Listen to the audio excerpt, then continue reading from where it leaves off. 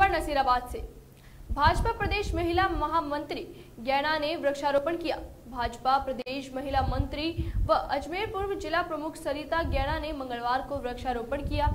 इस मौके पर एडवोकेट हंसराज चौधरी, प्रथम मेहरा कन्हैयालाल चौधरी, नारायण चौधरी, धनराज चौधरी, विनोद शाह, तिलखुश जागीर अन्य आदि मौजूद थे।